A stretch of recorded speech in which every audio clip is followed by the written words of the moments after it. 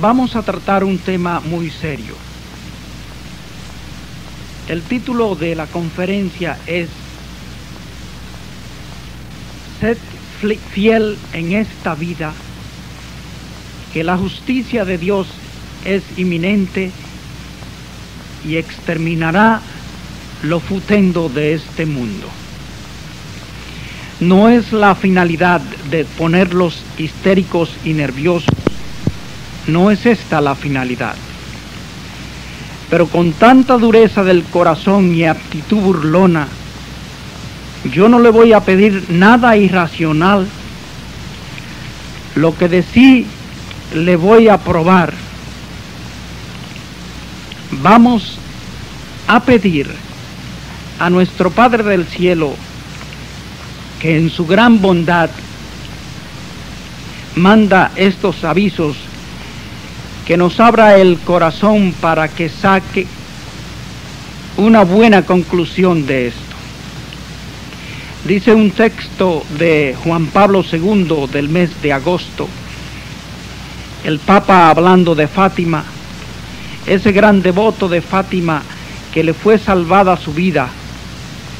La bala lo iba a matar y él mismo lo dice, la Virgen desvió la bala. El Papa cayó, pero se levantó y se curó. Fue el 28 de mayo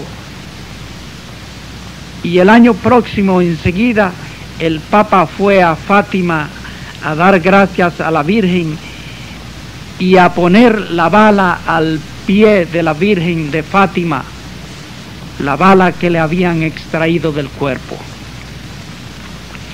Oigan lo que dice el Papa en agosto de este año, que las apariciones de María Santísima en Fátima, comprobados con signos extraordinarios en 1917, forman un punto de referencia y de irradiación para nuestros hijos.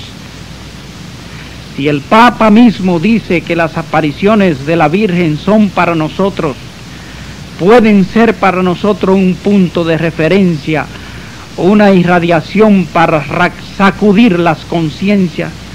Si el Papa dice así, María, nuestra Madre Celestial, vino para sacudir a las conciencias. Manda a conocer estos avisos del cielo para sacudir las conciencias.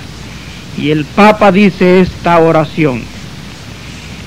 Escuchemos la voz de la Madre del Cielo, que la escuche la Iglesia, que la escuche la humanidad entera, porque María Santísima solo quiere la salvación eterna de los hombres. Dirijamos a la Virgen de Fátima nuestros espíritus y recémosles así. Madre del cielo, ayúdanos a vencer la amenaza del mal que tan fácilmente se arraiga en los corazones de los hombres de hoy. Del hambre y de la guerra, líbranos. De los pecados contra la vida del hombre, líbranos. Del odio y el envilecimiento, líbranos de la facilidad de pisotear los mandamientos de Dios, líbranos. Que se manifieste una vez más en la historia del mundo tu infinito poder de amor misericordioso, que en tu corazón se revele a toda la luz de la esperanza. Dios te salve María, llena eres de gracia, el Señor es contigo Bendita tú eres entre todas las mujeres y bendito es el fruto de tu vientre Jesús. Santa María, Madre de Dios, ruega por nosotros pecadores, ahora y en la hora de nuestra muerte. Amén. Les voy a aclarar que la iglesia siempre ha sabido distinguir entre revelación divina, que nos viene de la palabra de Dios, y revelaciones privadas. Revelaciones privadas son mensajes que Cristo o la Virgen dan a almas en particular. La revelación privada tenemos que creer como fe divina. El que no cree esto está ya fuera de la iglesia. Pero a las revelaciones privadas no somos obligados de creer. Pero tampoco, dice la iglesia, sería muy tonto si la iglesia, donde tenemos la palabra de los papas, temerarios, despreciar estos avisos de Dios. Entonces, que quede bien claro que estamos hablando de revelaciones privadas. Y todos sabemos que la revelación divina terminó con la del apóstol San Juan. Los mensajes nuevos no añaden nada nuevo a nuestra fe, pero nos ayudan mucho a comprenderlo y a tomarlo como ciertos. Les voy a dar un ejemplo. ¿Habló Jesús después de su resurrección y ascensión al cielo o se cayó para siempre? La Biblia, todavía hay palabras de Jesús después de la ascensión al cielo. Sí. A Pablo le dijo, Saulo, Saulo, ¿por qué me persigue? Jesús habló, a Pablo muchos años después hermanos. Las personas que quieran tapar la boca a Cristo diciendo que ya no puede hablar, que tiene que callarse, escúcheme, si el mismo Jesús habló a Pablo por lo menos diez años después, Jesús no ha dejado de hablar a almas santas o más pecadores para llamarle también pero Jesús no reveló a San Pablo algo nuevo, un nuevo dogma. No, pero a los últimos apóstoles está revelado entonces que Jesús tiene el derecho a hablar. Quien asiste a la iglesia sobre el respeto que tenemos que tener sobre las revelaciones privadas, porque no todo el mundo aprueba esto de las revelaciones privadas. Creemos que nadie puede ser más católico que el Papa. Y lo que el Papa aprueba, creo que ningún católico puede desaprobarlo, porque entonces está desaprobando lo que dice el Papa. No somos una gente iluminada o que andamos con cosas de fantasías sino que andamos con los pies en la tierra, como dice el Papa Pío XII, pero con la cabeza en el cielo. El Papa Benedicto XIV dice, aprobado por la Iglesia, ciertas revelaciones privadas, aunque no, no se le deban tal de divinas, no obstante, se refieran a sentimientos de fe humana según las reglas de la prudencia, una vez que estas revelaciones son probables y piadosamente creíbles, con esto el Papa dice, cuando una revelación está aprobada por la Iglesia. Vamos a ver únicamente revelaciones aprobadas por la Iglesia. El Papa Pablo VI dio un permiso en 1972 que ya no se prohíbe publicar y predicar revelaciones y profecía aún quien no tiene el primatum de la iglesia. El Papa Pablo VI era muy respetuoso sobre esto y como muchos sacerdotes se pusieron a criticar al Papa, dio un permiso y está, si alguien lo quiere comprobar, está en el operatorio romano del 29 de diciembre, acto de la apostólica sede número 48, protocolo 16. Si alguien quiere comprobarlo, el Papa Pablo VI dio este permiso. Nosotros tenemos todo el derecho de predicar y tenemos todo el deber de creerlo, al menos con fe humana, cuando esas revelaciones están aprobadas por la iglesia. El motivo de esta conferencia es este. Circulaba y creo que circula todavía un texto que se atribuye al padre Pío que lo habían titulado Los tres días de tinieblas. Creo que muchos de ustedes lo han leído. La gente me enseñó este texto y sabía que yo había tenido la suerte de conocerlo. El Padre Pío lo conocí y viví con él durante tres meses. El Padre Pío murió en 1968. Para mí es imposible que el Padre Pío personalmente haya escrito estos textos porque dice en el documento que viene a los Estados Unidos, el Padre Pío escribió hasta 1918 y ya para 1968, hasta su muerte, no podía escribir. Segundo, dicen que esto está garantizado por el Vaticano. No es costumbre del Vaticano garantizar profecía que hablen de castigos. Esto estamos seguros que no es cierto. Pero sí, Padre Pío no ha escrito esta carta, quiere decir que el contenido de la carta responde a lo que el Padre Pío muchas veces ha dicho a sus hijos espirituales. Entonces no importa mucho la forma. La carta, el contenido es bueno, probablemente alguien lo oyó de la boca del Padre Pío y lo escribió. Hermanos, muchos santos, no solamente el Padre Pío, muchísimos santos han anunciado desde tiempos muy remotos tres días de tinieblas en las cuales, y es muy doloroso decirlo, en las cuales la tres cuarta parte de la humanidad perecerán.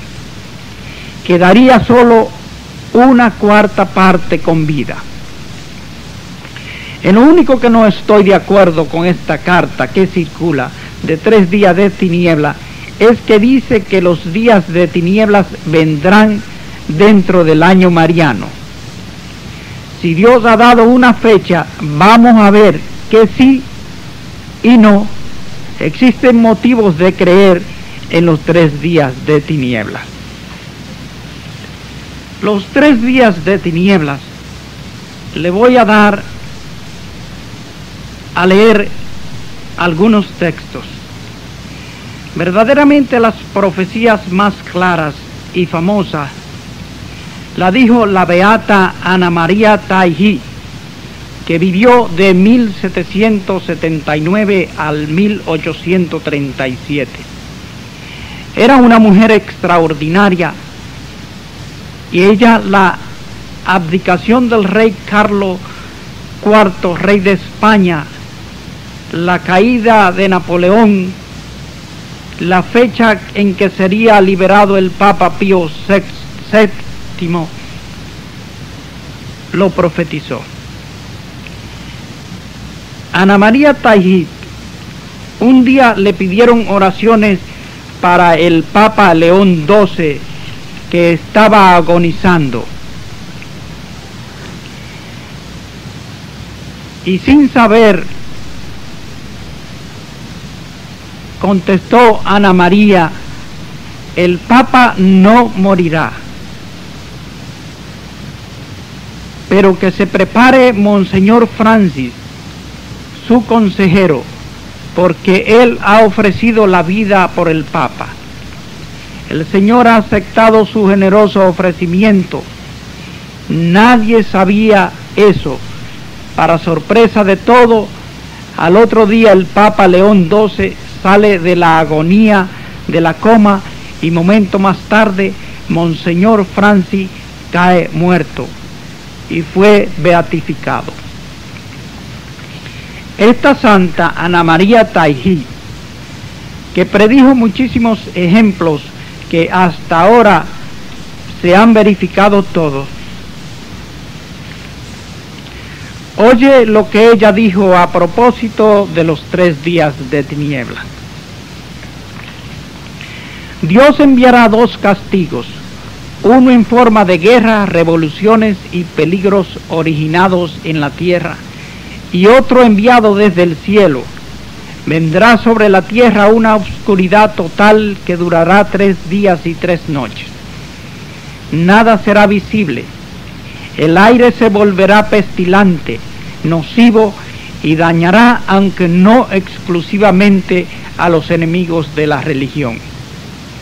Durante los tres días de tiniebla, la luz artificial será imposible. Solamente las velas arderán durante estos tres días de tiniebla. Los fieles deben permanecer en sus casas rezando el Santo Rosario y pidiendo a Dios misericordia. Todos los malos perecerán y en toda la tierra durante esta oscuridad universal, con excepción de algunos pocos que se convertirán.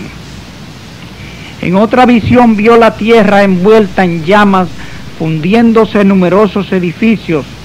La tierra y el cielo parecían que estaban agonizando. Millones de hombres morían por el hierro, unos en guerra, otros en luchas civiles, otros millones perecerán en los tres días de tinieblas. A la prueba lo seguirá un renacimiento universal después de purificar al mundo y a su iglesia y arrancar de raíz toda la mala hierba. Nuestro Señor operará un renacimiento milagroso, triunfo de su misericordia y su mano poderosa. Volverá a imponer el orden donde es imponente el esfuerzo humano. Para darle más peso a estos textos, quiero decir que todos los santos han dicho unánime que esto sucederá en este siglo, o sea, antes del año 2000. Oye bien, no estamos absolutamente hablando del fin del mundo. Eso nadie lo puede anunciar, porque nadie sabe la fecha, ni los ángeles del cielo. Estamos hablando, como lo dijo la Virgen en Fátima, de una gran purificación de este mundo. ¿Qué pasó en Fátima? La Virgen apareció el 13 de mayo de 1917 hasta el 13 de octubre y el 13 de junio dijo la siguiente palabra. Hijo, hija mía, a Lucía, Francisca y Jacinto. Esta guerra, la Primera Guerra Mundial, era del año 1914 al 1918, era terrible, hubo 8 millones de muertos. La Virgen decía en 1917, esta guerra está para terminar, pero si el mundo no se convierte, vendrá una segunda guerra, más terrible, bajo el reinado de otro papa. O sea, la Virgen anunció la guerra de 1940 al 1945 y hubieron 70 millones de muertos en la Segunda Guerra Mundial. La Virgen dijo esto en 1917. Si el mundo no se convierte, habrá otra Segunda Guerra Mundial. Solo se comenzó a hablar de Fátima en el 1938, cuando ya la guerra estaba por empezar. Siempre lo mismo. Los mensajes se creen, cuando ya es demasiado tarde. Ahora todo el mundo va a Fátima, pero antes de venir la guerra era prohibido hablar de esto. La Virgen en un mensaje algo más horrible Lucía ha dejado comprender lo que será. Yo le digo esto para que comprendan que no estamos hablando de un futuro muy lejos. Estamos hablando de algo que según Lucía se verá en la segunda parte del siglo, o sea, entre 1975 y el año 2000. Leímos ya el texto de Ana María Taijí, ahora San Gaspar de Búfalo, un fundador de los misioneros de la preciosísima sangre. Veamos lo que dice San Gaspar. Aquel que sobrevivirá a los tres días de tiniebla y de espanto, se verá a sí mismo como solo en la tierra, porque de hecho el mundo estará cubierto de cadáveres. No se ha, visto nada semejante desde el diluvio.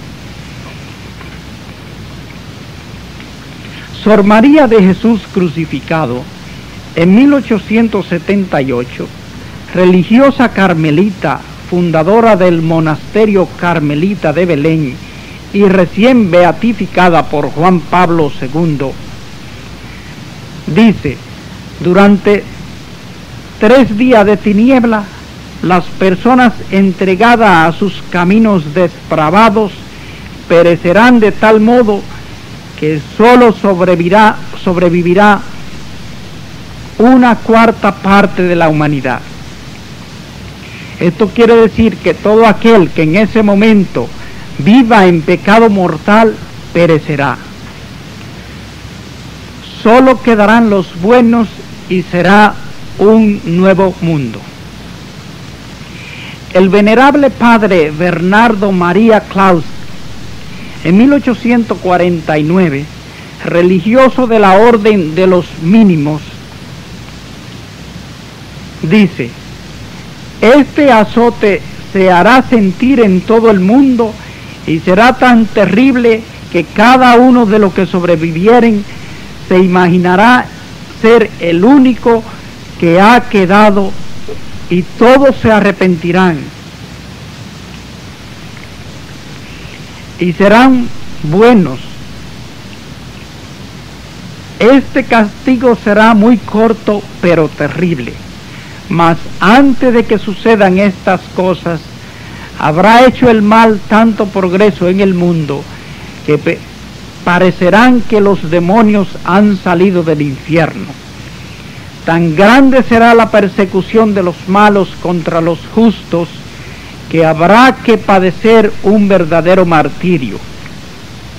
Las cosas llegarán al colmo, pero cuando la mano del hombre no puede más, y todo parezca perdido, Dios mismo pondrá su mano y arreglará las cosas en un abrir y cerrar de ojos, como de la mañana a la tarde. Felices los que sobrevivirán, porque será realmente el reino de amor fraterno. Hermanos, Andamos ahora cien veces peor que en los tiempos de Sodoma y Gomorra, con tanta juventud en droga, el dinero fácil, tanta corrupción. Se ha dicho que en Nueva York de 100 mujeres que conciben un niño, 60 lo matan en el aborto. Solo 40 traen su niño al mundo. Y esto grita esto tiene que llegar al cielo porque el Señor dice, hay de aquel que toca a uno de estos niños. Mejor sería que le ataran una piedra al cuello.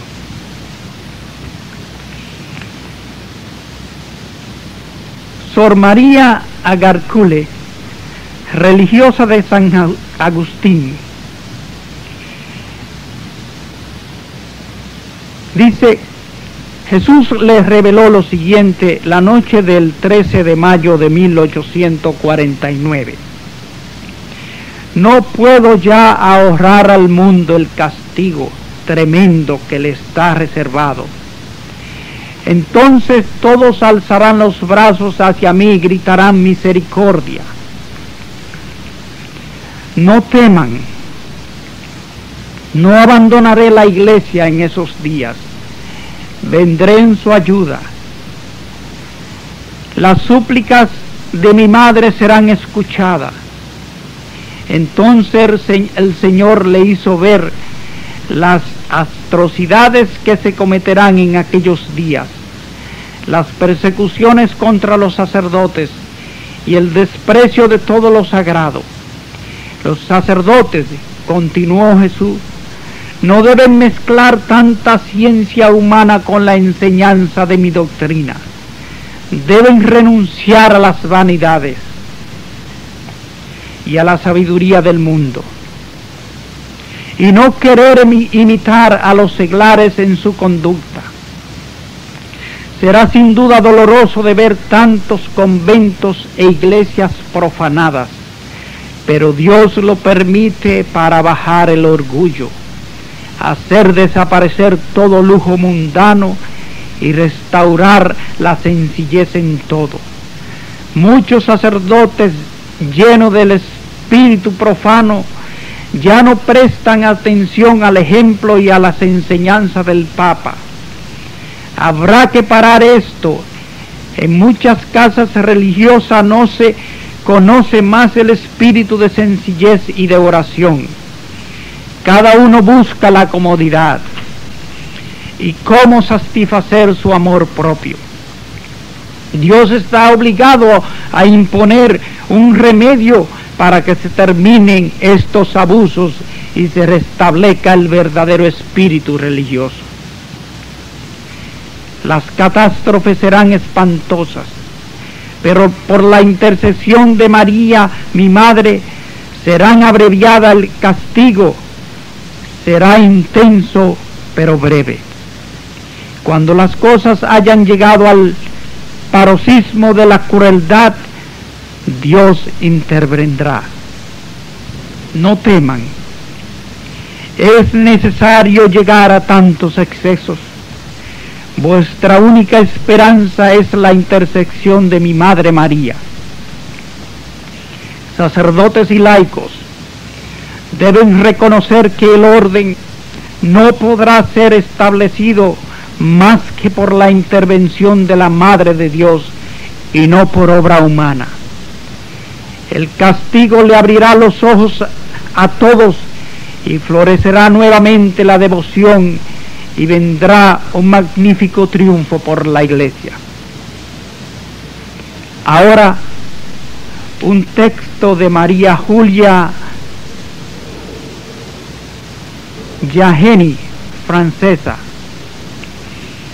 Esta señora vivió casi 100 años, una madre y murió en el año 1941.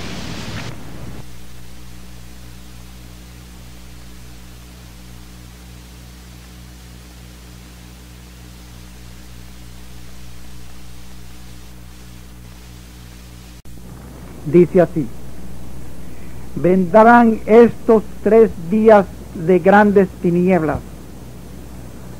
solo velas de cera benditas iluminarán durante estas tinieblas horrorosas.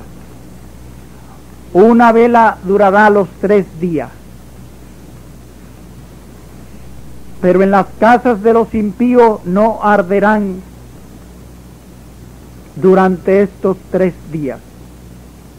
Los demonios aparecerán en formas horribles y abominables y harán resonar el aire con espantosas blasfemias los rayos y centellas penetrarán las casas, pero no apagarán las luces de las velas benditas. Los vientos, tormentos y terremotos no apagarán estas velas. Una nube roja como la sangre atravesará el firmamento. El estallido del trueno hará temblar la tierra y la tierra temblará desde sus cimientos. El mar lanzará sus espumeantes olas sobre la tierra y la tierra se cambiará en un cementerio gigantesco.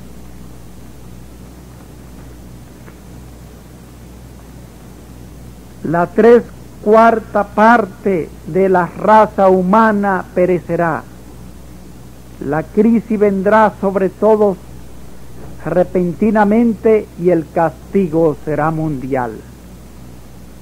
Hermanos, lo que es impresionante es que son personas que han vivido en países muy diferentes sin conocerse entre ellos y que todos anuncian lo mismo.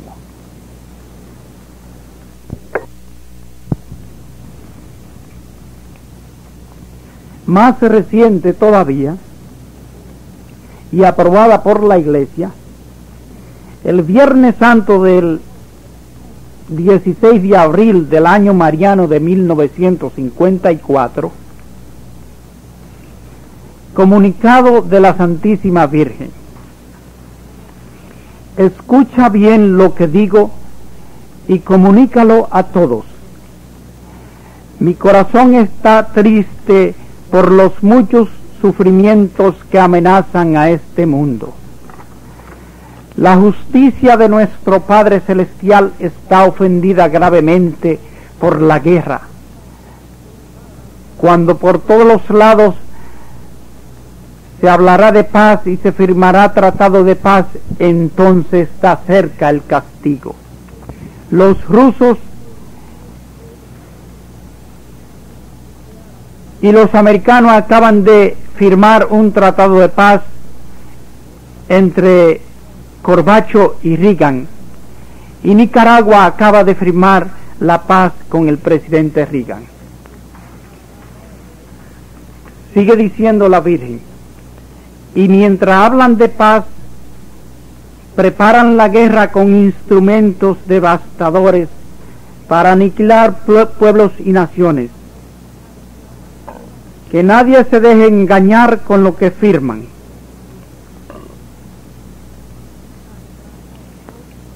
Innumerables escándalos llevan las almas a la ruina, especialmente la de la juventud, que se han entregado sin freno a los placeres del mundo, que han llegado a degenerar en perversiones tremendas. El mal ejemplo de los padres induce a las familias a escándalos e infidelidades en lugar de la práctica de la virtud y de la oración. El hogar, fuente de fe y de santidad, está manchado y destruido. Severos son los castigos y azotes que Dios mandó y manda para hacer entrar a los hombres en razón, pero los hombres se esfuerzan como fieras heridas y endurecen sus corazones contra la gracia de Dios y continúan viviendo en sus pecados. El mundo ya no merece el perdón sino el fuego, la destrucción y la muerte. Cerca está el azote para limpiar la tierra del mal. La justicia divina reclama la satisfacción de tantas ofensas y maldades que cubren la tierra y no se puede tolerar más. Los hombres obstinados en su culpa no se vuelven a Dios. La gente no se somete a la iglesia y desprecia a los sacerdotes por haber, por haber muchos malos entre ellos que son causa de escándalo. Está cerca la, la ira de Dios. El mundo estará invadido de grandes desgracias, de revoluciones sangrientas, de huracanes terribles, de inundaciones de ríos y mares. Levanta la voz hasta que los sacerdotes de Dios presten oído a mi mensaje y avisen a los hombres que el tiempo está cerca y que si no se convierten a Dios con oraciones y sacrificio, el mundo será se verá envuelto en una nueva guerra los dictadores del mundo, gente infernal, destruirán las iglesias, profanarán la Eucaristía y aniquilarán las cosas más queridas. En esa guerra sin piedad será destruido mucho de lo que los hombres han edificado. Nube con rayo de fuego y una tempestad de fuego pasarán sobre el mundo y el azote será el más terrible que se ha conocido en la historia de los hombres. Durará setenta horas, o sea, tres días. Los impíos serán aplastados y eliminados. Muchos se perderán porque permanecen en sus pecados. Entonces se sentirá el poder de la luz sobre las tinieblas. Las horas de las tinieblas están cerca. Yo me inspiro sobre el mundo y detengo la justicia de Dios. De otra manera estas cosas se habrían realizado ya, o sea, en 1954. Hacen falta oración y sacrificio que vuelvan a los hombres a Dios y a mi corazón inmaculado, medianera de los hombres. Así al menos una parte del mundo se salvará. Propaga a grito estas cosas en todo el mundo como eco verdadero de mi voz. Hazlo saber porque ayudará a salvar muchas armas e impedir mucha destrucción en la iglesia y en el mundo. Texto con imprimato del obispo de España.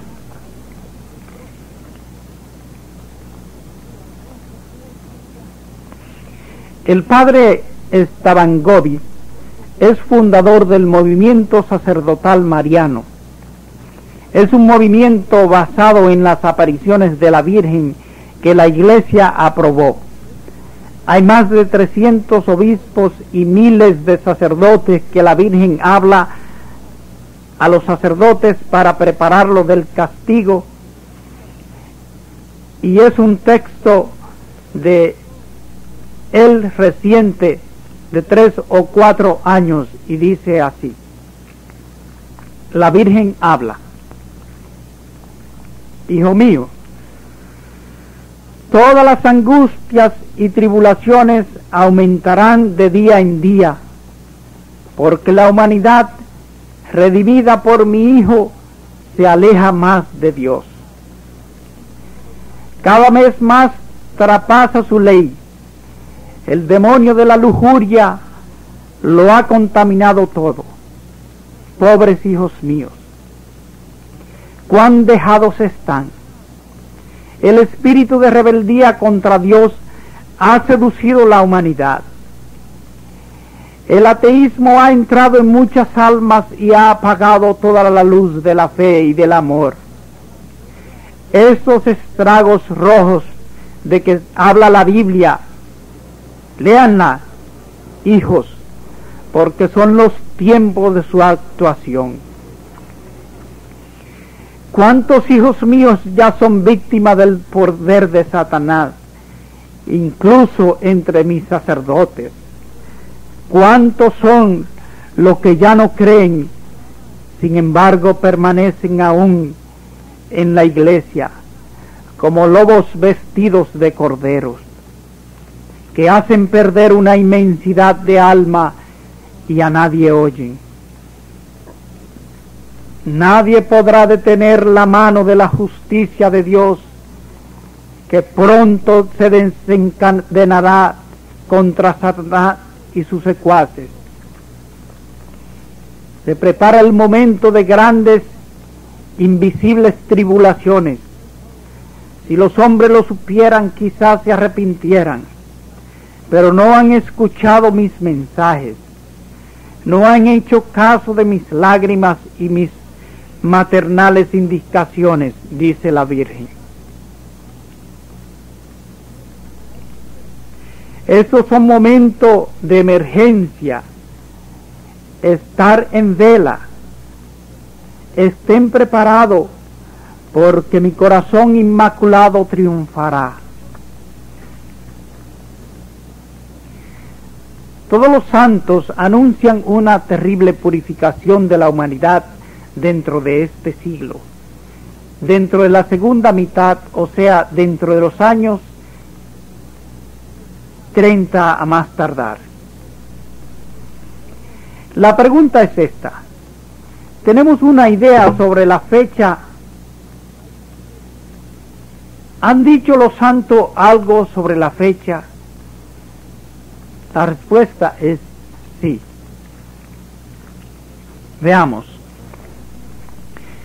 Santa Brígida, en el año 1303, dice,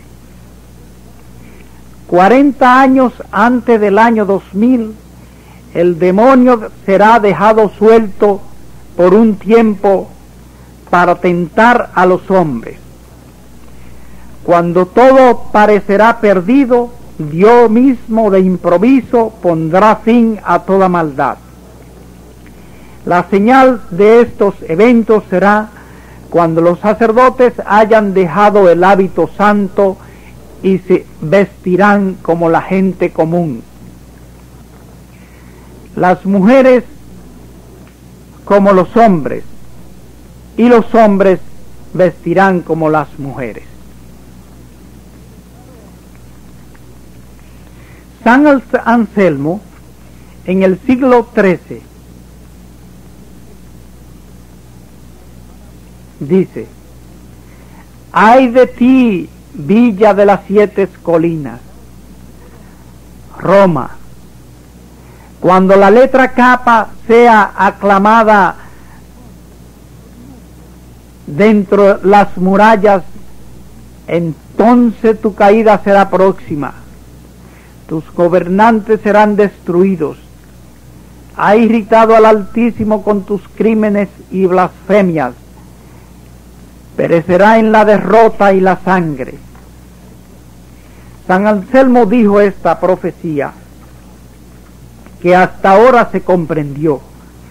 Dijo, cuando la letra capa, que no existe en el alfabeto latino, será proclamada dentro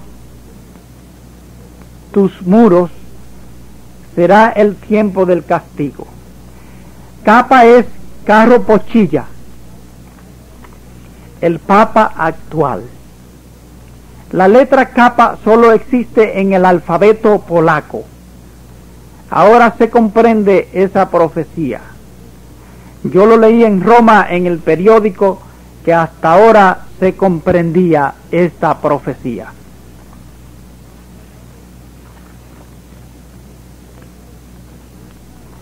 Otra profecía de San Vicente Ferrer.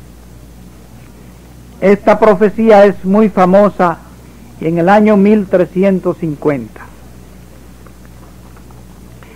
Advertir que vendrá un tiempo de relajación religiosa y catástrofe como no lo ha habido ni lo habrá. En aquel tiempo las mujeres se vestirán como hombres y se portarán a su gusto, y los hombres vestirán vilmente como las mujeres. Pero Dios lo purificará todo y recreará todo, y la tristeza se convertirá en gozo. Otra profecía de San Juan Bosco, el único que puso una fecha precisa. Estos textos lo pueden encontrar en el sueño número 71 de Don Bosco. Del sur vendrá la guerra, del norte la paz. Italia será sumida en la desolación. Francia será castigada. Roma conocerá el exterminio. El Papa tendrá que ahuyentarse habrá una lucha terrible entre la luz y las tinieblas. Cesa la oscuridad. Luce un sol espléndido. La tierra está arrasada. Muchísimo han desaparecido. El Papa vuelve. El pecado tendrá fin. San Juan Bosco pone una fecha todo esto se iniciará o culminará antes de que aparezcan dos plenilunios en el mes de las flores. El único mes de las flores es mayo en este siglo con dos lunas llenas. Es mayo de 1988, que por gran casualidad cae precisamente dentro del año mariano el primero de mayo y el 30 de mayo es luna llena y por gran casualidad en el año mariano. Le voy a dar a conocer otro texto que es de un polaco amigo personal del Papa que predijo a Juan Pablo II que iba a ser Papa. Él recibió de la Virgen diez años pasados una profecía que son las más claras, con fecha y todo.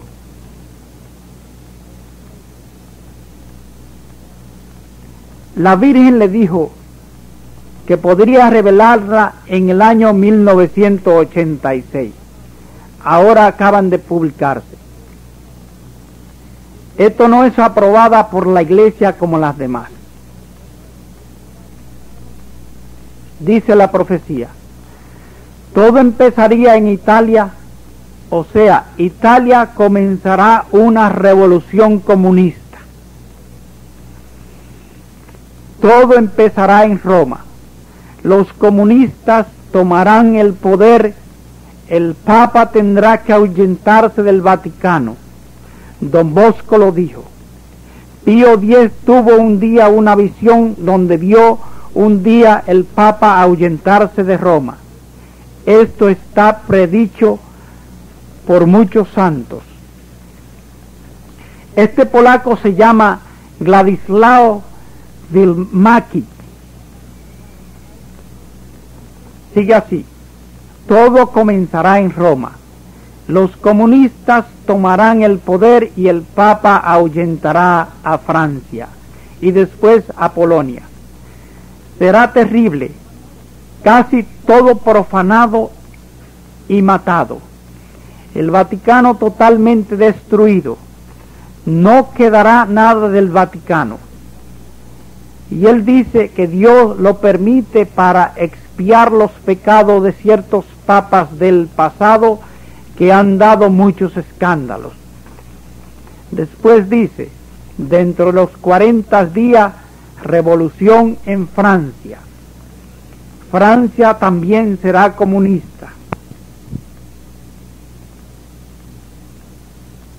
Que Francia es comunista y se siente circundado de países comunistas, contraataca. Invade a Checoslovaquia y a Polonia y empieza la guerra del comunismo. Como los rusos miran la rebelión de sus satélites los rusos contraatacan e invaden toda Europa y ahí tenemos lo que dijo Sor Lucía de las apariciones de Fátima, que vendrá un breve momento que todo el mundo entero caerá bajo el comunismo por solo unos pocos días. Toda Europa quedará comunista. Italia, Francia, Polonia, Alemania, Portugal y España quedarán por unos breves momentos comunistas. Cuando la Rusia invade toda la Europa, los chinos invaden a Rusia.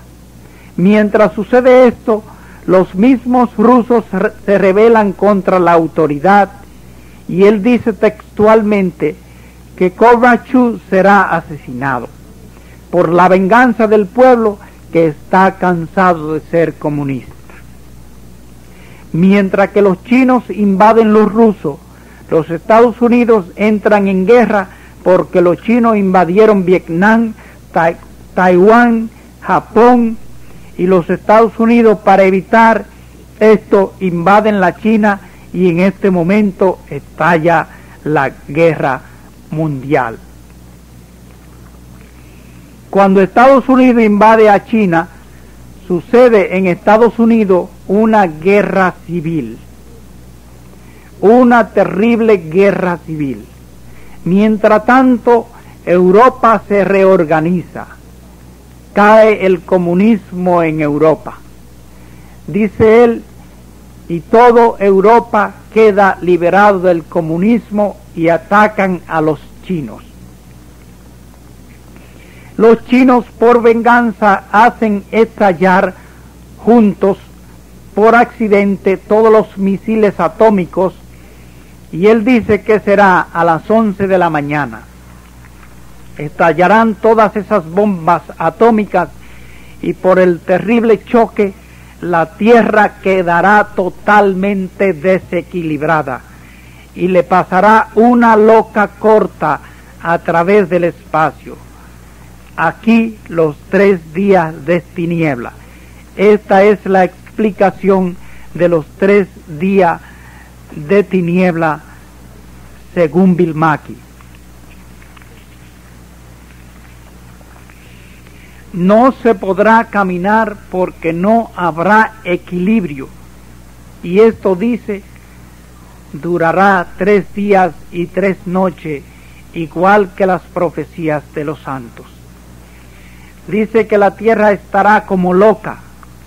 Dice que todas las costas serán inundadas por el mar. Dice que Holanda, Bélgica y parte de Polonia, Miami desaparecerá del mapa, Nueva York desaparecerá. Él ha dicho también que California, Los Ángeles desaparecerá por un terrible terremoto. Los tres días solo con vela bendita se alumbrará. Lo mismo dice rezar el rosario, quedarse en casa, no salir por ningún motivo. Cuando el mundo amanece el cuarto día, estará purificado. Quedarán cadáveres que no se pueden contar y quedarán solamente una cuarta parte de la humanidad regresará el Papa, vendrá el famoso monasco francés anunciado por muchos santos, recibirán el mundo y todos se convertirán.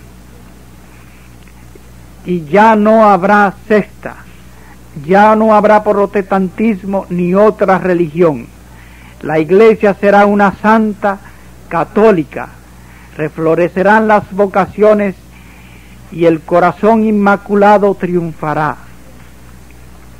Hermanos, esto es lo que anuncian los santos y almas privilegiadas en estos tiempos. Ustedes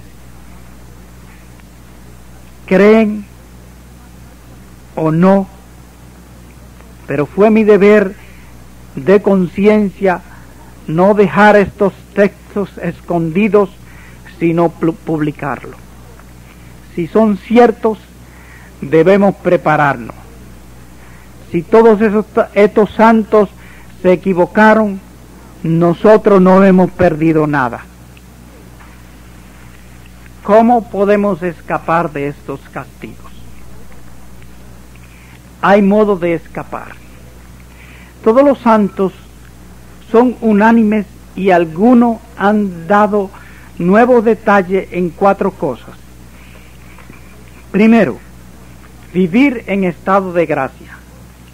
Todo aquel que vive en pecado mortal en ese momento ya no habrá tiempo de confesarse y morirá en esos tres días. Segundo, tener en sus casas velas benditas el Padre Pío decía, todos los hijos espirituales tengan comida y agua por tres días, fósforos benditos, el rosario a mano, vivir en gracia de Dios y la última cosa que reveló Jesús a Santa Justina en Polonia, que todo aquel que venera con amor la imagen de Jesús misericordiosa será ahorrado del castigo. Promesa de Jesús bendeciré las familias donde esté mi imagen. Cualquiera que haya guardado con amor mi imagen santa será preservado del castigo y de la muerte. Hay gente de los antiguos hebreos que habían marcado su casa con la cruz de sangre del Cordero Pascual. Fueron preservados del ángel exterminador. Así en estos momentos tristes, para aquellos que me hayan honrado exponiendo mi imagen, yo los preservaré. Estos mensajes fueron revelados a Santa Justina y también a Ana Carmela Carabelli, que es la fundadora de los cenáculos. Por medio de estos cenáculos se salvarán muchas almas antes de que venga el castigo. Una santa italiana ha predicho un día Nicaragua y Cuba se unirán e invadirán toda América Central, no antes de haber firmado un tratado de paz.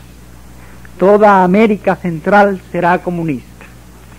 Hermanos, estos cenáculos son queridos por la Virgen para prepararnos y para preservarnos, para llegar a la conversión a muchos. Lucía ha dicho que el año mariano es la última oportunidad de la misericordia de Dios, el último plazo, y que si a este año mariano el mundo no se convierte, lo aplastará. Vamos a pedir a la Madre de Dios que nos siga protegiendo para que el Señor tenga misericordia de nosotros. Dios te salve María, llena eres de gracia, el Señor es contigo, bendita tú eres entre todas las mujeres y bendito es el fruto de tu vientre Jesús. Santa María, Madre de Dios, ruega por nosotros pecadores, ahora y en la hora de nuestra muerte. Amén. Gloria al Padre, gloria al Hijo, gloria al Espíritu Santo, como era en el principio, ahora y siempre, por los siglos de los siglos. Amén. Ave María Purísima, sin pecado concebida. En el nombre del Padre, del Hijo y del Espíritu Santo. Amén. Que el Señor les bendiga.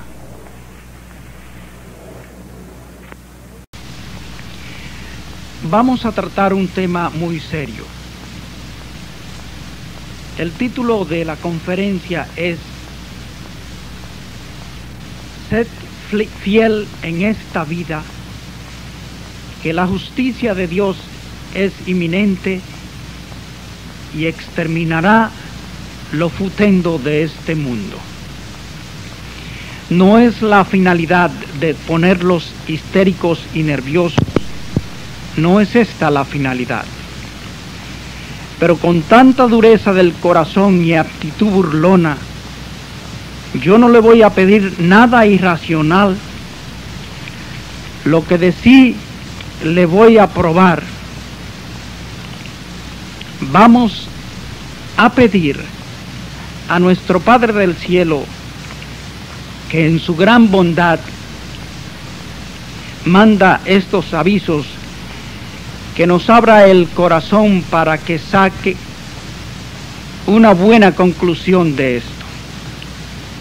Dice un texto de Juan Pablo II del mes de agosto, el Papa hablando de Fátima, ese gran devoto de Fátima que le fue salvada su vida. La bala lo iba a matar y él mismo lo dice, la Virgen desvió la bala. El Papa cayó, pero se levantó y se curó. Fue el 28 de mayo y el año próximo enseguida el Papa fue a Fátima a dar gracias a la Virgen y a poner la bala al pie de la Virgen de Fátima, la bala que le habían extraído del cuerpo. Oigan lo que dice el Papa en agosto de este año, que las apariciones de María Santísima en Fátima, comprobados con signos extraordinarios en 1917, forman un punto de referencia y de irradiación para nuestros hijos. Si el Papa mismo dice que las apariciones de la Virgen son para nosotros, pueden ser para nosotros un punto de referencia, una irradiación para sacudir las conciencias. Si el Papa dice así, María, nuestra Madre Celestial, vino para sacudir a las conciencias. Manda a conocer estos avisos del cielo para sacudir las conciencias. Y el Papa dice esta oración. Escuchemos la voz de la Madre del Cielo, que la escuche la Iglesia, que la escuche la humanidad entera, porque María Santísima solo quiere la salvación eterna de los hombres. Dirijamos a la Virgen de Fátima nuestros espíritus y recémosles así. Madre del cielo, ayúdanos a vencer la amenaza del mal que tan fácilmente se arraiga en los corazones de los hombres de hoy. Del hambre y de la guerra, líbranos. De los pecados contra la vida del hombre, líbranos. Del odio y el envilecimiento, líbranos. De la facilidad de pisotear los mandamientos de Dios, líbranos. Que se manifieste una vez más en la historia del mundo tu infinito poder de amor misericordioso, que en tu corazón se revele a toda la luz de la esperanza. Dios te salve María, llena eres de gracia el Señor es contigo.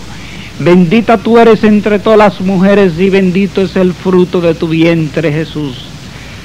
Santa María, Madre de Dios, ruega por nosotros pecadores, ahora y en la hora de nuestra muerte. Amén. Les voy a aclarar que la Iglesia siempre ha sabido distinguir entre revelación divina, que nos viene de la palabra de Dios y revelaciones privadas. Revelaciones privadas son mensajes que Cristo o la Virgen dan a almas en particular. La revelación privada tenemos que creer como fe divina. El que no cree esto está ya fuera de la iglesia. Pero a las revelaciones privadas no somos obligados de creer pero tampoco, dice la iglesia, sería muy tonto si la iglesia, donde tenemos la palabra de los papas, temerarios, despreciar estos avisos de Dios. Entonces, que quede bien claro que estamos hablando de revelaciones privadas. Y todos sabemos que la revelación divina terminó con la del apóstol San Juan. Los mensajes nuevos no añaden nada nuevo a nuestra fe, pero nos ayudan mucho a comprenderlo y a tomarlo como ciertos. Les voy a dar un ejemplo.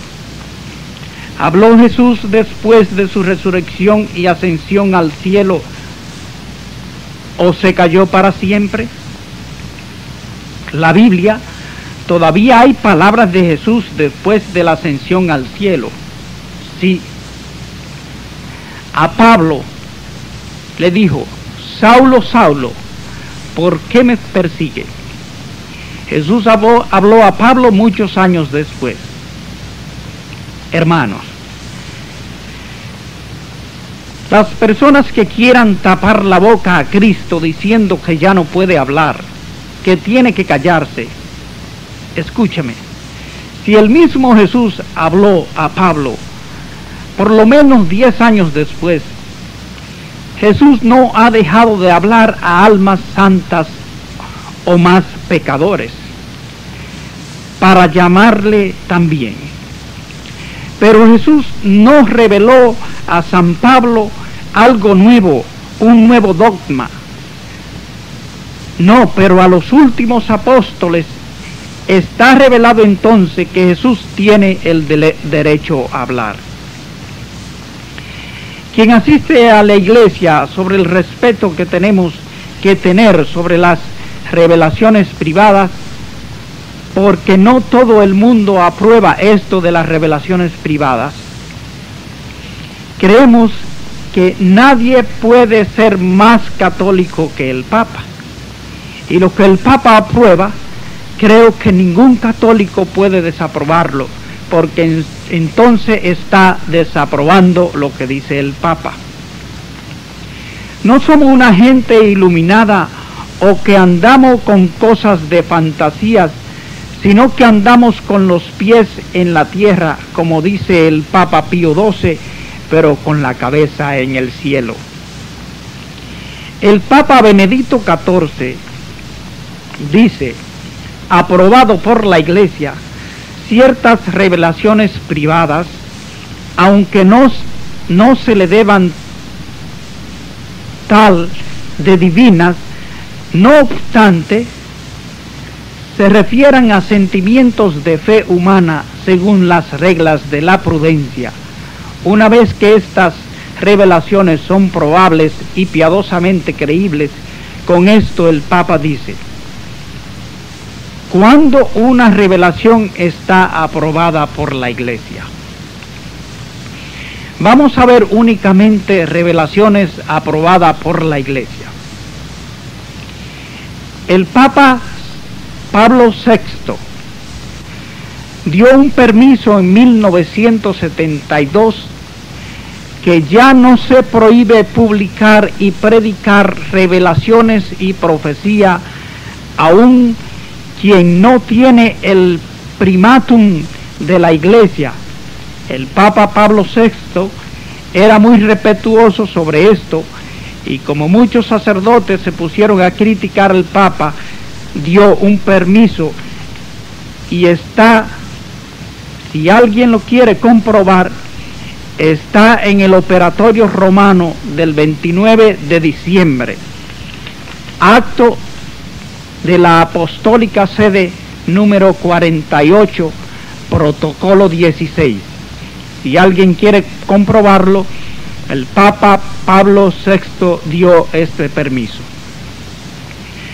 Nosotros tenemos todo el derecho de predicar y tenemos todo el deber de creerlo, al menos con fe humana, cuando esas revelaciones están aprobadas por la Iglesia. El motivo de esta conferencia es este circulaba y creo que circula todavía un texto que se atribuye al padre Pío que lo habían titulado Los tres días de tinieblas. Creo que muchos de ustedes lo han leído. La gente me enseñó este texto y sabía que yo había tenido la suerte de conocerlo. El Padre Pío lo conocí y viví con él durante tres meses. El padre Pío murió en 1968.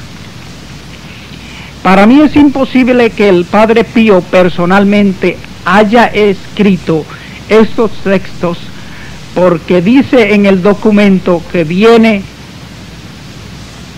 a los Estados Unidos, el padre Pío escribió hasta 1918 y ya para 1968, hasta su muerte, no podía escribir. Segundo, dicen que esto está garantizado por el Vaticano. No es costumbre del Vaticano garantizar profecía que hablen de castigos. Esto estamos seguros que no es cierto. Pero sí, Padre Pío no ha escrito esta carta, quiere decir que el contenido de la carta responde a lo que el Padre Pío muchas veces ha dicho a sus hijos espirituales. Entonces no importa mucho la forma. La carta, el contenido es bueno, probablemente alguien lo oyó de la boca del Padre Pío y lo escribió. Hermanos, Muchos santos, no solamente el Padre Pío, muchísimos santos han anunciado desde tiempos muy remotos tres días de tinieblas en las cuales, y es muy doloroso decirlo, en las cuales la tres cuarta parte de la humanidad perecerán. Quedaría solo una cuarta parte con vida. En lo único que no estoy de acuerdo con esta carta que circula de tres días de tiniebla es que dice que los días de tinieblas vendrán dentro del año mariano. Si Dios ha dado una fecha, vamos a ver que sí y no. Existen motivos de creer en los tres días de tinieblas. Los tres días de tinieblas le voy a dar a leer algunos textos. Verdaderamente las profecías más claras y famosas la dijo la beata Ana María Taiji, que vivió de 1779 al 1837. Era una mujer extraordinaria y ella la abdicación del rey Carlos IV, rey de España, la caída de Napoleón, la fecha en que sería liberado el Papa Pío Lo profetizó.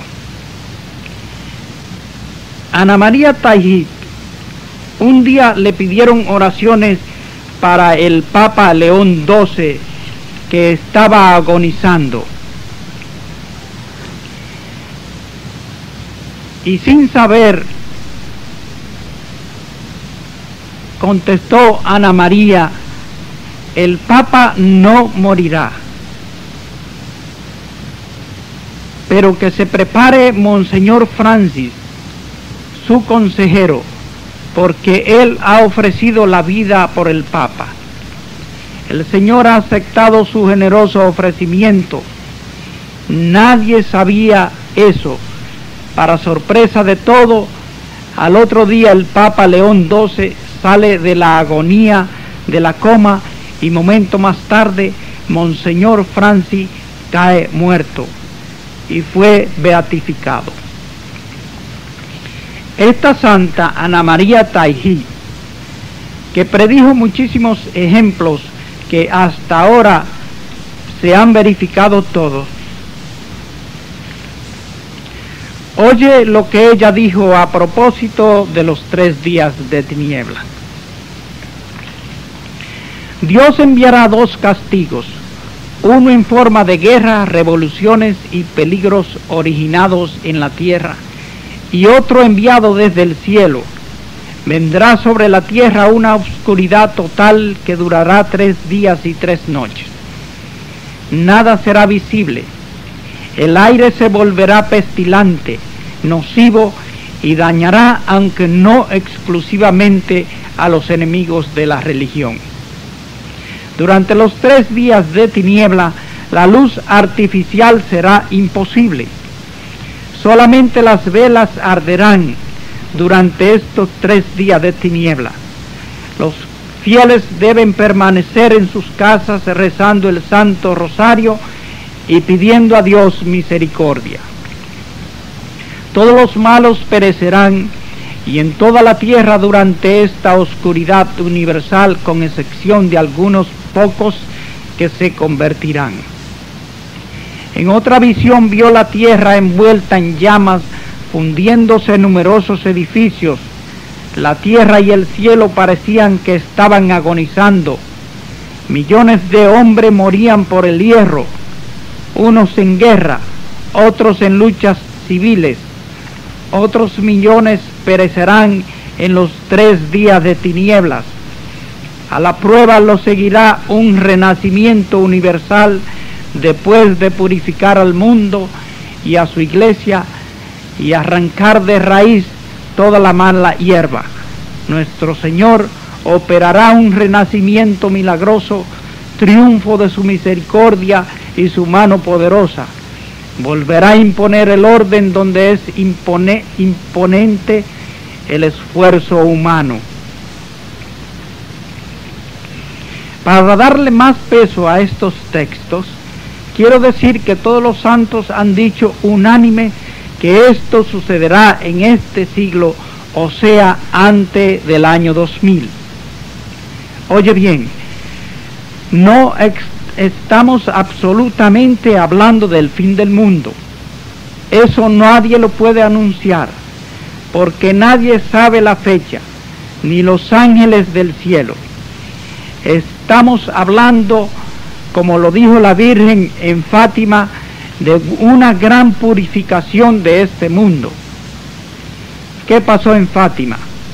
La Virgen apareció el 13 de mayo de 1917 hasta el 13 de octubre y el 13 de junio dijo la siguiente palabra. Hijo, hija mía, a Lucía, Francisca y Jacinto. Esta guerra, la primera guerra mundial, era del año 1914 al 1918, era terrible, hubo 8 millones de muertos. La Virgen decía en 1917, esta guerra está para terminar, pero si el mundo no se convierte, vendrá una segunda guerra, más terrible, bajo el reinado de otro papa. O sea, la Virgen anunció la guerra de 1940 al 1945 y hubieron 70 millones de muertos en la Segunda Guerra Mundial. La Virgen dijo esto en 1917. Si el mundo no se convierte, habrá otra Segunda Guerra Mundial. Solo se comenzó a hablar de Fátima en el 1938 cuando ya la guerra estaba por empezar. Siempre lo mismo. Los mensajes se creen, cuando ya es demasiado tarde. Ahora todo el mundo va a Fátima, pero antes de venir la guerra era prohibido hablar de esto. La Virgen en un mensaje algo más horrible, Lucía ha dejado comprender lo que será. Yo le digo esto para que comprendan que no estamos hablando de un futuro muy lejos. Estamos hablando de algo que según Lucía se verá en la segunda parte del siglo, o sea, entre 1975 y el año 2000. Leímos ya el texto de Ana María Taijí ahora San Gaspar de Búfalo, un fundador de los misioneros de la preciosísima sangre, veamos lo que dice San Gaspar. Aquel que sobrevivirá a los tres días de tiniebla y de espanto, se verá a sí mismo como solo en la tierra, porque de hecho el mundo estará cubierto de cadáveres no se ha visto nada semejante desde el diluvio. Sor María de Jesús crucificado, en 1878, religiosa carmelita, fundadora del monasterio carmelita de Belén y recién beatificada por Juan Pablo II, dice, durante tres días de tiniebla las personas entregadas a sus caminos despravados perecerán de tal modo que sólo sobrevivirá, sobrevivirá una cuarta parte de la humanidad. Esto quiere decir que todo aquel que en ese momento viva en pecado mortal perecerá. Solo quedarán los buenos y será un nuevo mundo. El venerable padre Bernardo María Claus, en 1849, religioso de la Orden de los Mínimos, dice, este azote se hará sentir en todo el mundo y será tan terrible que cada uno de los que sobrevivieren se imaginará ser el único que ha quedado y todos se arrepentirán y serán buenos. Este castigo será muy corto pero terrible. Mas antes de que sucedan estas cosas, habrá hecho el mal tanto progreso en el mundo que parecerán que los demonios han salido del infierno. Tan grande será la persecución de los malos contra los justos que habrá que padecer un verdadero martirio. Las cosas llegarán al colmo, pero cuando la mano del hombre no puede más y todo parezca perdido, Dios mismo pondrá su mano y arreglará las cosas en un abrir y cerrar de ojos, como de la mañana a la tarde. Felices los que sobrevivirán, porque será realmente el reino de amor fraterno. Hermanos, andamos ahora cien veces peor que en los tiempos de Sodoma y Gomorra con tanta juventud en droga, el dinero fácil, tanta corrupción. Se ha dicho que en Nueva York de 100 mujeres que conciben un niño, 60 lo matan en el aborto. Solo 40 traen su niño al mundo. Y esto grita, esto tiene que llegar al cielo porque el Señor dice, hay de aquel que toca a uno de estos niños mejor sería que le ataran una piedra al cuello.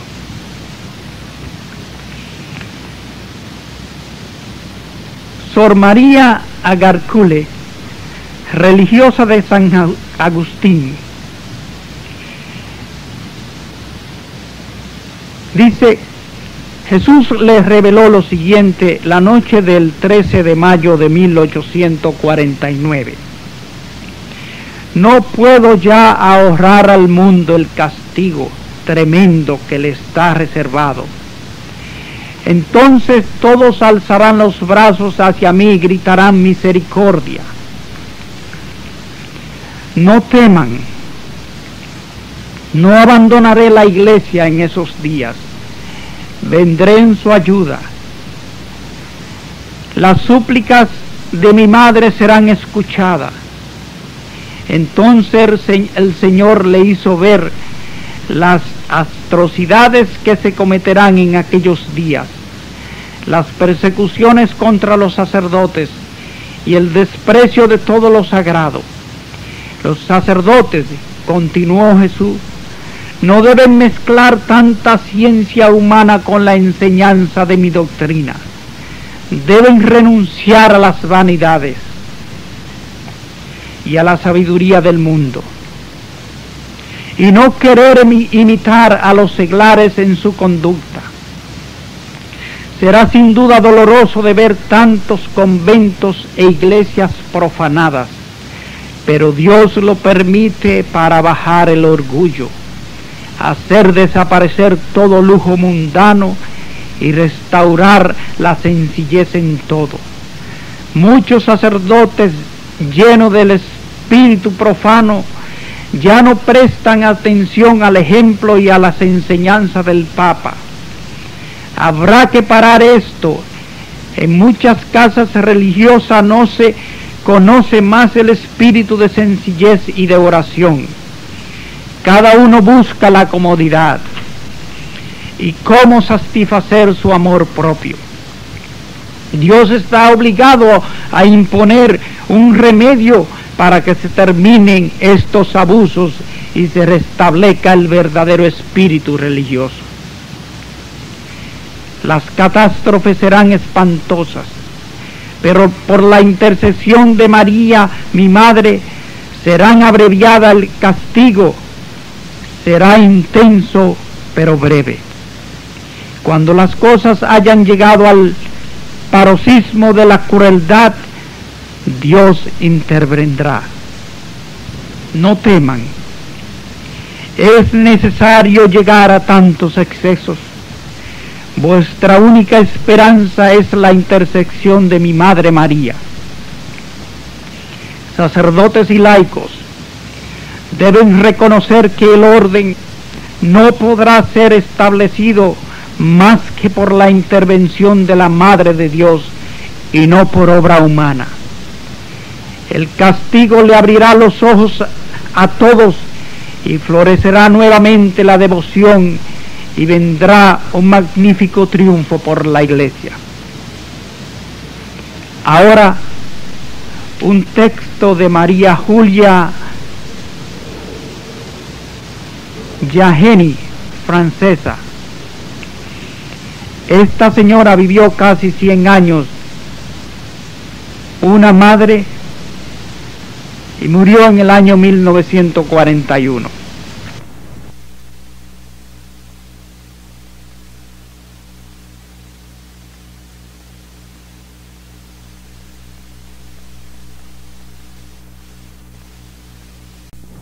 Dice así, vendrán estos tres días de grandes tinieblas. Solo velas de cera benditas iluminarán durante estas tinieblas horrorosas. Una vela durará los tres días. Pero en las casas de los impíos no arderán durante estos tres días. Los demonios aparecerán en formas horribles y abominables y harán resonar el aire con espantosas blasfemias. Los rayos y centellas penetrarán las casas, pero no apagarán las luces de las velas benditas. Los vientos, tormentos y terremotos no apagarán estas velas una nube roja como la sangre atravesará el firmamento. El estallido del trueno hará temblar la tierra y la tierra temblará desde sus cimientos. El mar lanzará sus espumeantes olas sobre la tierra y la tierra se cambiará en un cementerio gigantesco.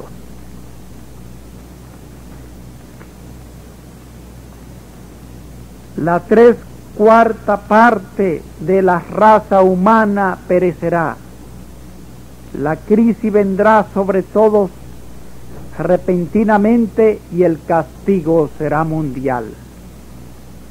Hermanos, lo que es impresionante es que son personas que han vivido en países muy diferentes sin conocerse entre ellos y que todos anuncian lo mismo.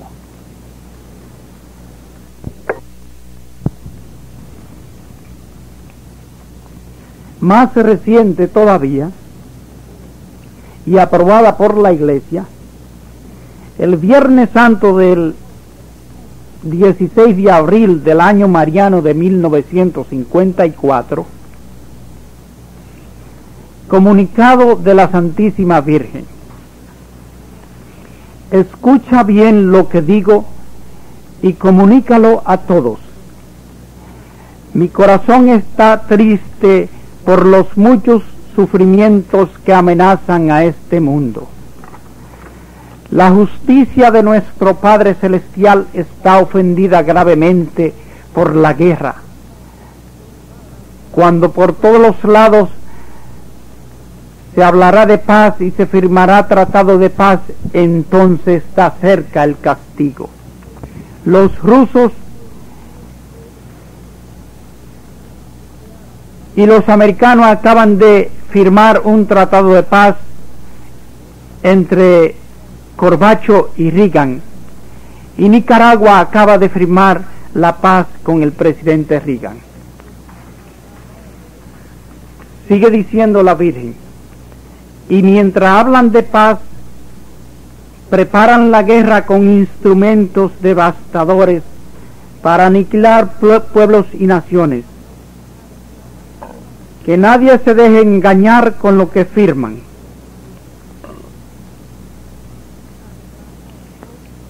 Innumerables escándalos llevan las almas a la ruina, especialmente la de la juventud, que se han entregado sin freno a los placeres del mundo, que han llegado a degenerar en perversiones tremendas. El mal ejemplo de los padres induce a las familias a escándalos e infidelidades en lugar de la práctica de la virtud y de la oración. El hogar, fuente de fe y de santidad, está manchado y destruido. Severos son los castigos y azotes que Dios mandó y manda para hacer entrar a los hombres en razón, pero los hombres se esfuerzan como fieras heridas y endurecen sus corazones contra la gracia de Dios y continúan viviendo en sus pecados. El mundo ya no merece el perdón sino el fuego, la destrucción y la muerte. Cerca está el azote para limpiar la tierra del mal. La justicia divina reclama la satisfacción de tantas ofensas y maldades que cubren la tierra y no se puede tolerar más. Los hombres obstinados en su culpa no se vuelven a Dios. La gente no se somete a la iglesia y desprecia a los sacerdotes por haber, por haber muchos malos entre ellos que son causa de escándalo. Está cerca la, la ira de Dios. El mundo estará invadido de grandes desgracias, de revoluciones sangrientas, de huracanes terribles, de inundaciones de ríos y mares. Levanta la voz hasta que los sacerdotes de Dios presten oído a mi mensaje y avisen a los hombres que el tiempo está cerca y que si no se convierten a Dios con oraciones y sacrificio, el mundo será, se verá envuelto en una nueva guerra. Los dictadores del mundo, gente infernal, destruirán las iglesias, profanarán la Eucaristía y aniquilarán las cosas más queridas. En esa guerra sin piedad será destruido mucho de lo que los hombres han edificado. Nube con rayo de fuego y una tempestad de fuego pasarán sobre el mundo y el azote será el más terrible que se ha conocido en la historia de los hombres. Durará setenta horas, o sea, tres días. Los impíos serán aplastados y eliminados. Muchos se perderán porque permanecen en sus pecados. Entonces se sentirá el poder de la luz sobre las tinieblas. Las horas de las tinieblas están cerca. Yo me inspiro sobre el mundo y detengo la justicia de Dios. De otra manera estas cosas se habrían realizado ya, o sea, en 1954. Hacen falta oración y sacrificio que vuelvan a los hombres a Dios y a mi corazón inmaculado, medianera de los hombres Así al menos una parte del mundo se salvará. Propaga a grito estas cosas en todo el mundo como eco verdadero de mi voz. Hazlo saber porque ayudará a salvar muchas armas e impedir mucha destrucción en la iglesia y en el mundo. Texto con imprimato del obispo de España.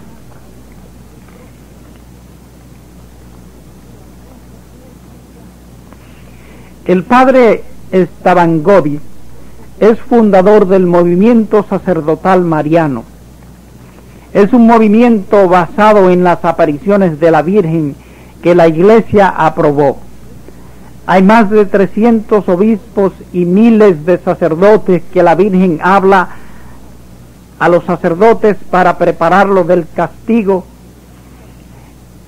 Y es un texto de el reciente de tres o cuatro años y dice así, la Virgen habla,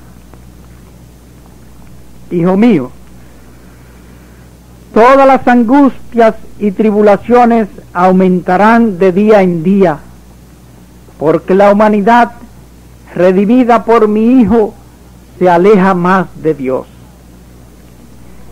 Cada vez más trapasa su ley el demonio de la lujuria lo ha contaminado todo. pobres hijos míos, cuán dejados están. El espíritu de rebeldía contra Dios ha seducido la humanidad. El ateísmo ha entrado en muchas almas y ha apagado toda la luz de la fe y del amor. Estos estragos rojos de que habla la Biblia, léanla, hijos, porque son los tiempos de su actuación. ¿Cuántos hijos míos ya son víctimas del poder de Satanás, incluso entre mis sacerdotes? ¿Cuántos son los que ya no creen, sin embargo permanecen aún en la iglesia como lobos vestidos de corderos, que hacen perder una inmensidad de alma y a nadie oyen? Nadie podrá detener la mano de la justicia de Dios, que pronto se desencadenará contra Satanás y sus secuaces. Se prepara el momento de grandes, invisibles tribulaciones.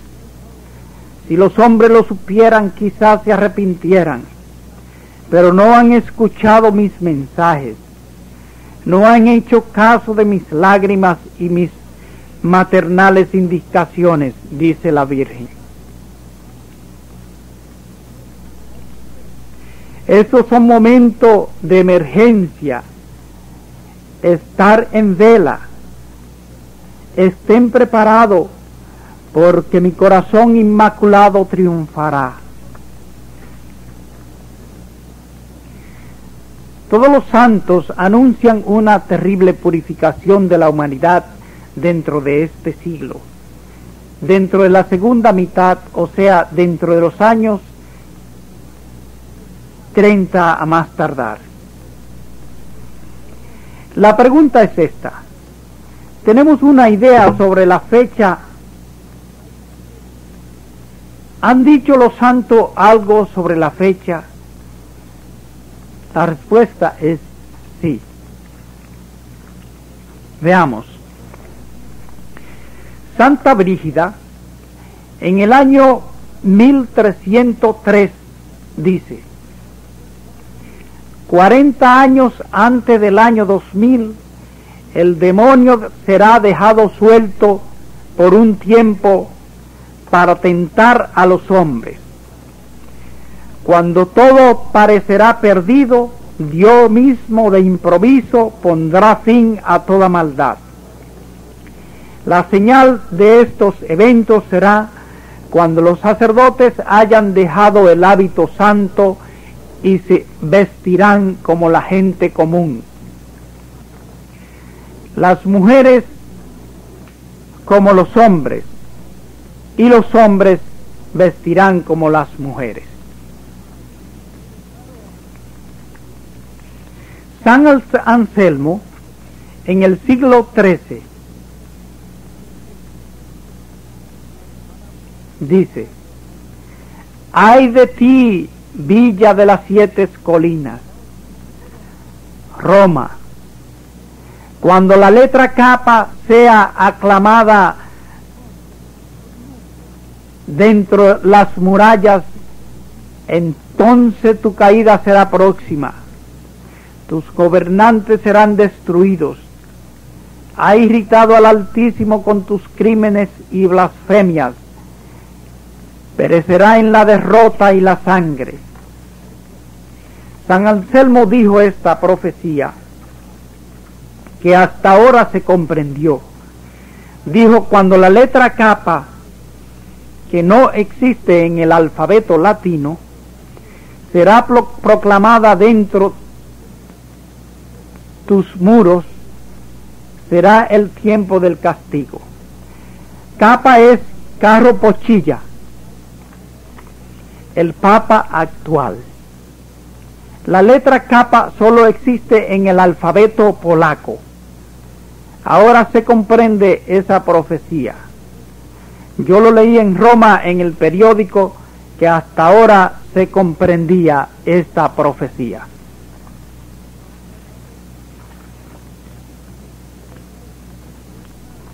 Otra profecía de San Vicente Ferrer.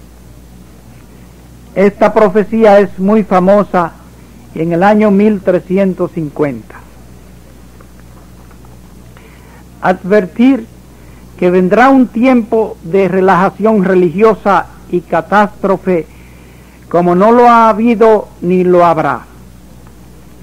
En aquel tiempo las mujeres se vestirán como hombres y se portarán a su gusto, y los hombres vestirán vilmente como las mujeres. Pero Dios lo purificará todo y recreará todo, y la tristeza se convertirá en gozo. Otra profecía de San Juan Bosco, el único que puso una fecha precisa estos textos lo pueden encontrar en el sueño número 71 de Don Bosco.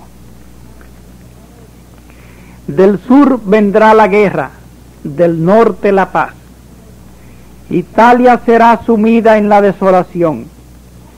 Francia será castigada. Roma conocerá el exterminio. El Papa tendrá que ahuyentarse habrá una lucha terrible entre la luz y las tinieblas. Cesa la oscuridad. Luce un sol espléndido. La tierra está arrasada. Muchísimo han desaparecido. El Papa vuelve. El pecado tendrá fin. San Juan Bosco pone una fecha todo esto se iniciará o culminará antes de que aparezcan dos plenilunios en el mes de las flores. El único mes de las flores es mayo en este siglo con dos lunas llenas. Es mayo de 1988, que por gran casualidad cae precisamente dentro del año mariano el primero de mayo y el 30 de mayo es luna llena y por gran casualidad en el año mariano.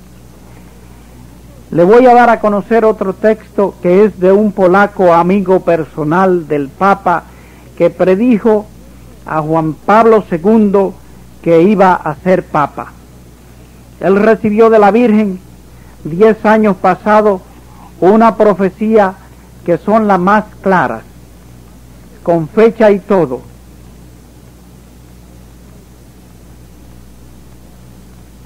La Virgen le dijo que podría revelarla en el año 1986. Ahora acaban de publicarse. Esto no es aprobada por la iglesia como las demás. Dice la profecía, todo empezaría en Italia o sea, Italia comenzará una revolución comunista. Todo empezará en Roma. Los comunistas tomarán el poder. El Papa tendrá que ahuyentarse del Vaticano. Don Bosco lo dijo. Pío X tuvo un día una visión donde vio un día el Papa ahuyentarse de Roma.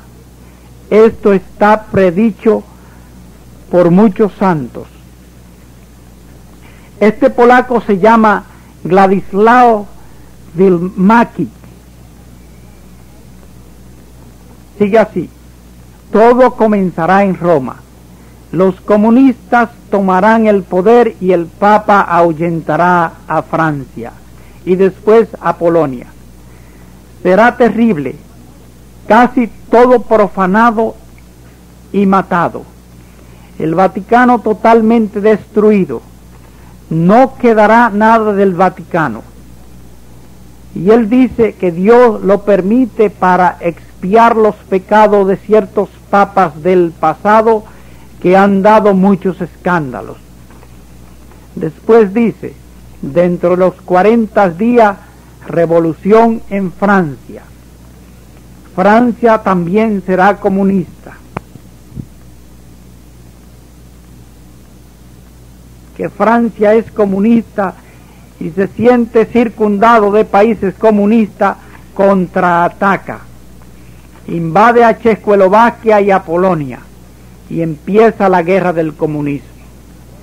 Como los rusos miran la rebelión de sus satélites, los rusos contraatacan e invaden toda Europa y ahí tenemos lo que dijo Sor Lucía de las apariciones de Fátima, que vendrá un breve momento que todo el mundo entero caerá bajo el comunismo por solo unos pocos días. Toda Europa quedará comunista. Italia, Francia, Polonia, Alemania, Portugal y España quedarán por unos breves momentos comunistas.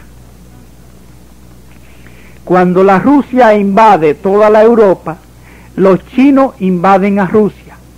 Mientras sucede esto, los mismos rusos se rebelan contra la autoridad y él dice textualmente que Kovachu será asesinado por la venganza del pueblo que está cansado de ser comunista. Mientras que los chinos invaden los rusos, los Estados Unidos entran en guerra porque los chinos invadieron Vietnam, Taiwán, Japón y los Estados Unidos para evitar esto invaden la China y en este momento estalla la guerra mundial. Cuando Estados Unidos invade a China, sucede en Estados Unidos una guerra civil, una terrible guerra civil. Mientras tanto, Europa se reorganiza, cae el comunismo en Europa. Dice él, y todo Europa queda liberado del comunismo y atacan a los chinos. Los chinos por venganza hacen estallar juntos por accidente todos los misiles atómicos y él dice que será a las 11 de la mañana. Estallarán todas esas bombas atómicas y por el terrible choque la Tierra quedará totalmente desequilibrada y le pasará una loca corta a través del espacio aquí los tres días de tiniebla. Esta es la explicación de los tres días de tiniebla según Bilmaki.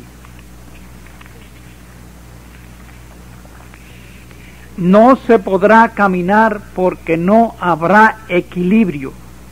Y esto dice, durará tres días y tres noches, igual que las profecías de los santos.